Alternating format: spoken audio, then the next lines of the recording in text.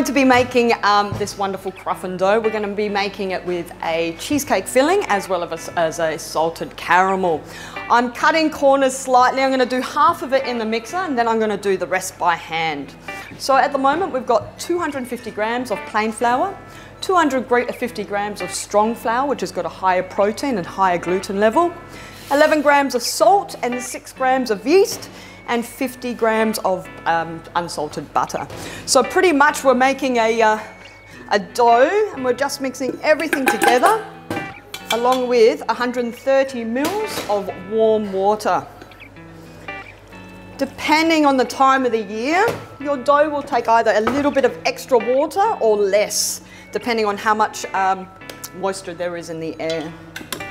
So we'll start that on low and we'll start bringing the dough together and see if I need to add a couple of extra tablespoons of water or not. Once the dough comes together, that's when we'll add the butter. Um, but we need to make that dough first prior to making that butter or putting that batter in. So it needs about another tablespoon to two tablespoons of water. I'll increase the speed a little bit.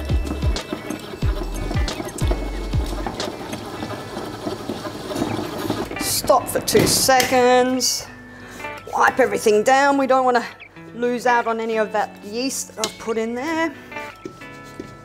We also put warm water to start activating the yeast um, to kind of bring it to life. Being a live microorganism, we need to um, give it a bit of food and warmth for it to uh, come alive again. So she needs a touch more water. So now I'm going to mix it on a medium-high speed for approximately three to four minutes. That will start bringing the dough together. Then I'll add the butter into small knobs. Um, I'll incorporate it into the dough. Um, and then we'll mix it and knead it for a further 10 minutes, or 8 to 10 minutes. Um, and I'll do it, finish it off by hand. So at this point you can see it's gotten a bit smoother and a bit more elastic. It is a bit tacky and a bit moist, but that's the way we want it. So now we turn it back on. We'll put it onto a really low speed and start incorporating this room temperature butter. So we also call this an enriched dough. It's pretty much what we're making is a in, in between a croissant and almost like a phyllo or a uh, strudel dough. So it's quite light and flaky and uh, beautiful, delicious hopefully. So once all your butter's incorporated, we'll increase the speed and uh, mix it for, like I said, approximately another eight minutes and then I'll finish it by hand.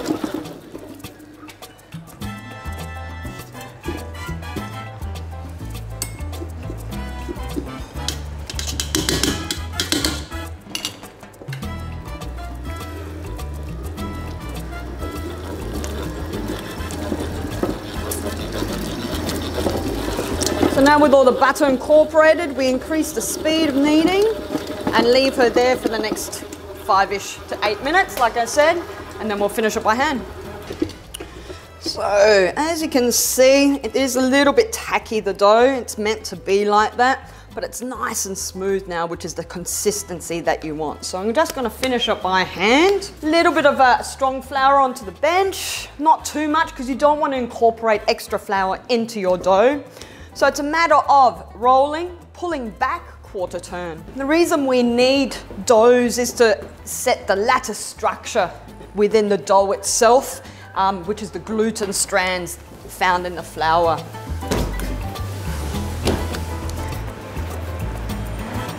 It's getting a bit too sticky, just add touch more flour.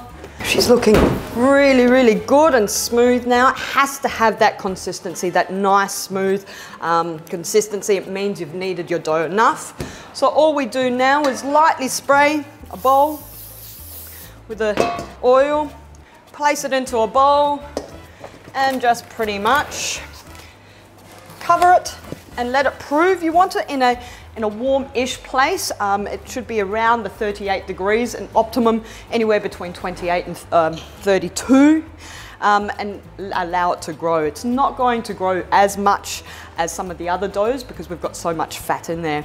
Um, but you're going to leave it now for the first proving for about 40 minutes um, and then we'll start molding it. So we've waited the 40 minutes now and as you can see um, the dough has risen slightly. Obviously with the, uh, the warm temperature and the yeast coming alive it's created the carbon dioxide and has risen. So now what we have to do, we actually have to punch down the dough which means that we have to eradicate or take out all that carbon dioxide that it's created. And then we're gonna start rolling it and I'll show you the next process, which is a little bit more difficult.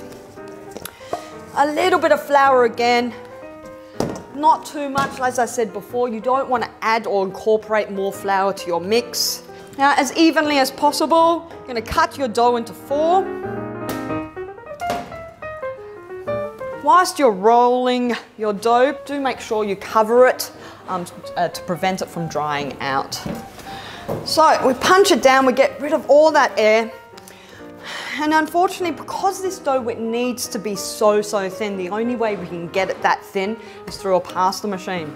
So what I'm doing at the moment, I'm gonna set it on the biggest setting and we're gonna do pretty much this, exactly the same process of making a croissant dough, which is the rolling and folding.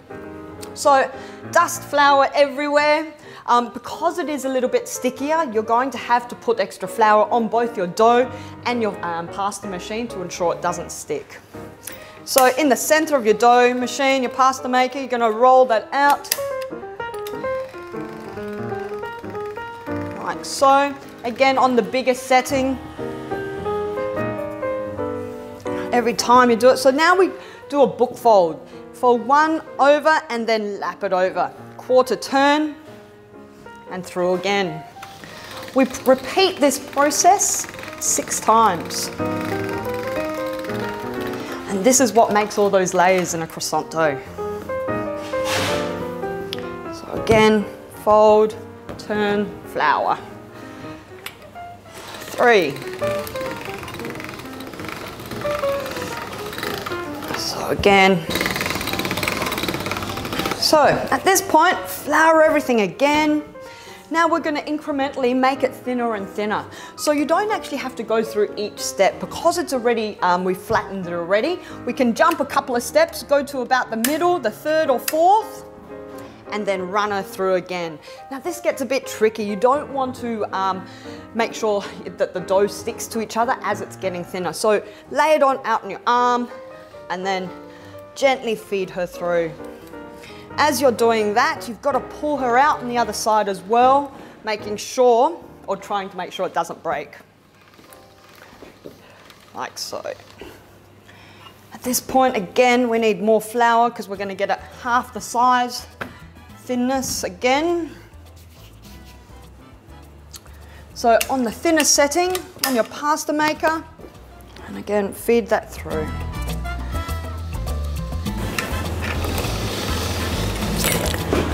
So as you're feeding it through, move it out to ensure it doesn't stick. Again, you can dust a touch of flour on there to prevent it and triple make sure it doesn't stick together.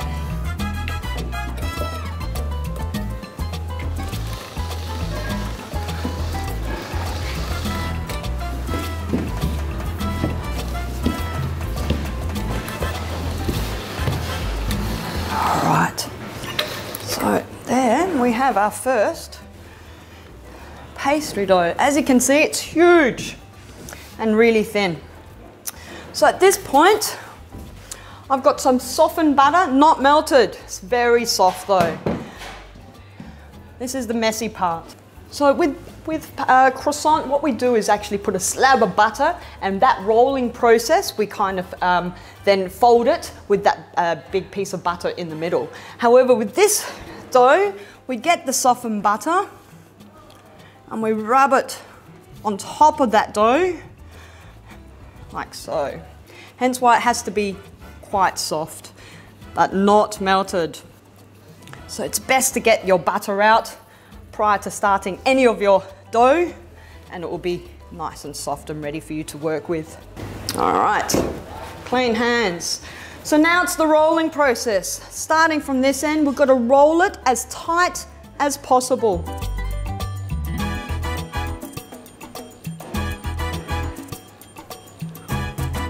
like so.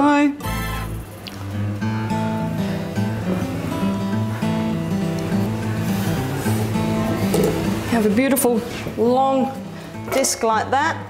Flour your knife. This will ensure that your dough doesn't stick. Cut it lengthways down the center. And as you can see, I've got this beautiful puff pastry like dough now. Stretch it out just a touch, like so. I've greased some muffin tins and then pretty much with the cut side facing out, you're making a small knot, like so. And there you have a cruffin. So you're pretty much then repeating this process another three times to get through the rest of your dough and you'll have eight cruffins. Then we'll do our second proving, which will take approximately two to three hours, depending on the temperature of the environment that you're working in. So after waiting, uh, it's been two hours. I've, this is the second proving or the end of the second proving. As you can see, they've expanded and doubled in size. At this point, I'm going to brush them with an egg wash, um, which is just plain, plainly an egg beaten up. We'll brush that, put into a really, really hot oven at 200 degrees. We need that hotter oven for the puff to occur. Um, and then we're gonna bake it for approximately 20, 25 minutes. And they should come out golden brown in color and beautiful and light and fluffy. Egg wash on top just allows it to go crispy and golden on top as well as you can see, you can see those beautiful layers, which is obviously uh, the characteristic of a croissant. Um, that's really, really important to get those layers in there. So just quite simply, brush. Don't put too much, you don't want it eggy in flavor as such. You want just that golden brownness that the, um, the eggs will give to your pastry dough. So straight into a preheated oven, that is of utmost importance. So 200 degrees, banging. Um, then we'll wait at about the 15 minute mark. We're gonna rotate both the trays 180 degrees just to ensure that the cooking is even. Unfortunately, every oven works differently and has different hot spots. So to ensure the even cooking, um, we'll rotate that halfway through and hopefully they come out beautiful and crispy. So 25 minutes later, approximately give or take, you've always got to check it about, I'd say the 20 minute mark is going to be the best. However, when you take them out, they should look something like this. You've got that golden brown color on top and that's also assisted with the egg wash that we've had in there. Um, but best to leave it in the tins for maybe a couple of minutes and then we'll put it straight onto a cooling rack to uh, cool down. We don't want to leave it in the pan to cool down, otherwise it potentially could get a soggy bottom, which means that steam has uh, collected at the bottom and makes the base really, really wet, which is not what you want. So we've left it in the tin for a couple of minutes to cool. Then we're just pretty much, please don't try this at home with your bare hands, um, taking it out. And you can see they're beautiful and light. You can see the layers in there, um, crispy and gorgeous.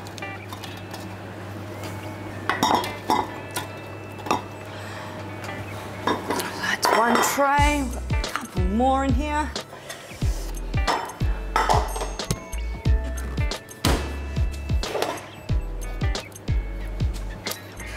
So we're gonna let those cool down completely. We can't put our filling in yet whilst it's hot. Obviously the cheese, the cheesecake filling will just melt and it will be a, a huge mess for you. So we're gonna cool those down totally and then we're gonna fill them. Okay, so now we're going to make the salted caramel. It's pretty basic. Uh, 60 mils of water, 200 grams of caster sugar. Unfortunately, we do have to use refined sugar for this. Over a medium or high heat. Um, I've also organised, I've got a bowl of water with a brush in it. What will happen when we make sugar syrups is it can crystallise really easily. So to prevent it from crystallising, we wipe down the edges um, with warm water or just cold water with a brush and this will ensure that my sugar doesn't crystallise. Um, as soon as one crystal forms, unfortunately, the whole pot will turn. So it's of utmost importance that you do this step.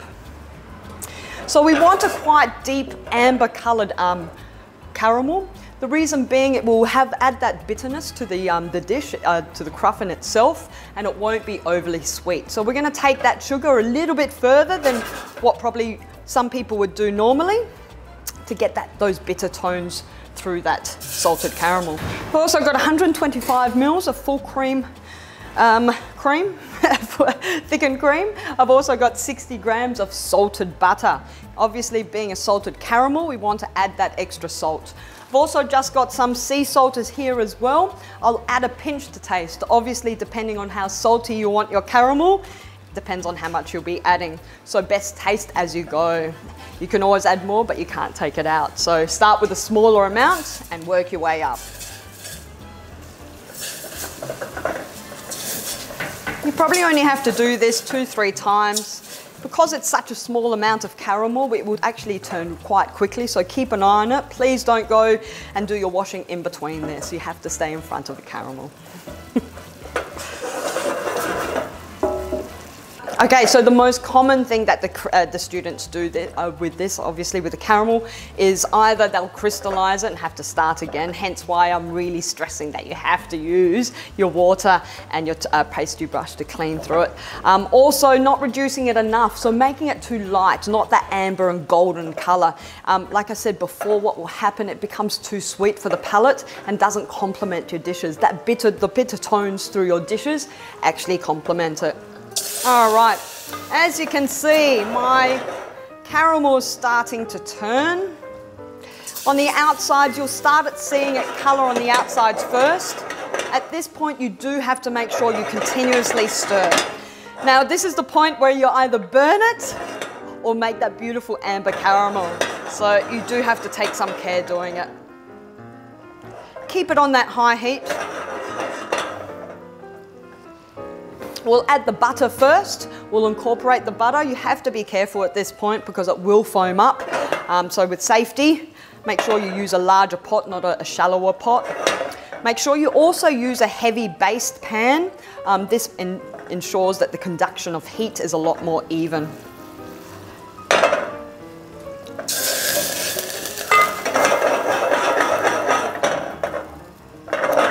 All right, we're almost there. Like I said, I'm gonna take it as far as I possibly can without burning it to add those bitter tones to my dish. Fine line between that burnt and amber. So at this point, you're adding your salted butter. As you can see, it will foam up. You're gonna mix that through.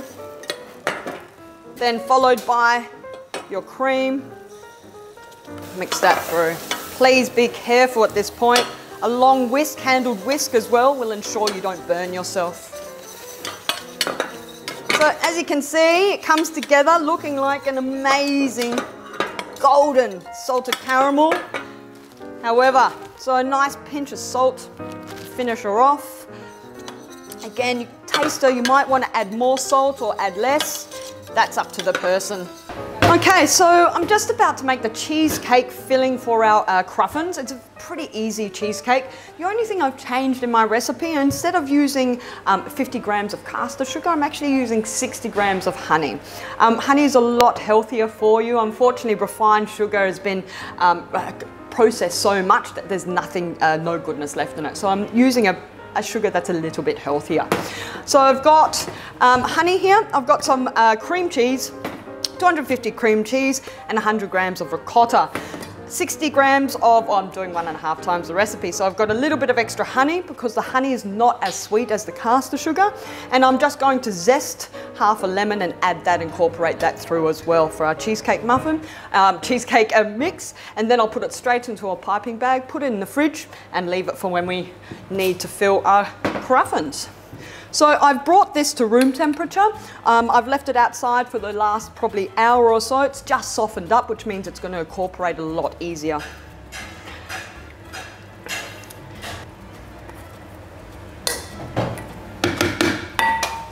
Along with our ricotta, like I said, honey. I've also, what I did, a little trick, if you spray your bowl, when you're using sugars like this, um, whether it's maple syrup or honey, if you spray your bowl lightly with a bit of oil, um, it's much easier, it will come out and you can see you waste a lot less, which is what you want. And of course, my lemon zest. Best to use a microplane for this. You'll find your zest is a lot finer. Um, alternatively, you can just put it onto a grater on a really fine grate. You don't want any of the white underneath. That pith is quite bitter in flavour, so you want to omit that from your recipe. Then, quite simply, turn it on and we mix all our ingredients up. You will need to mix it whilst making it, whilst it is incorporating.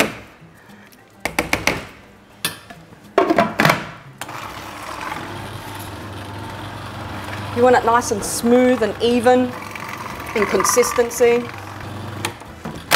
And of course you have to taste it. Fantastic.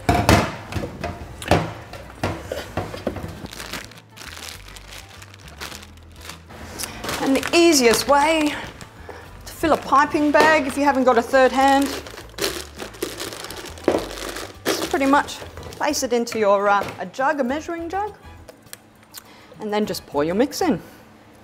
Again, using a spatula to get it all out.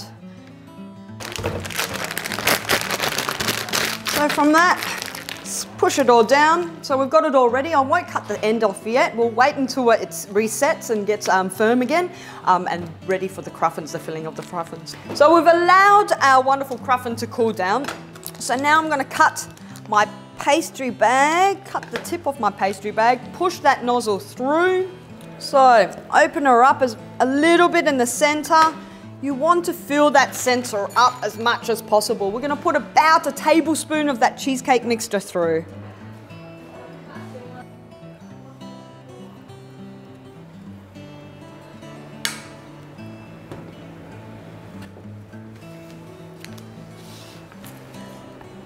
I'm gonna put a little bit more that beautiful cheesecake mix. Few freeze-dried raspberries.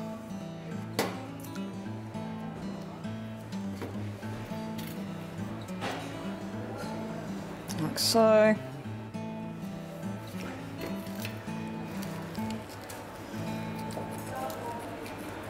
Sprinkle a bit on. And then lucky last, we're just going to use a little bit of snow sugar to finish her off.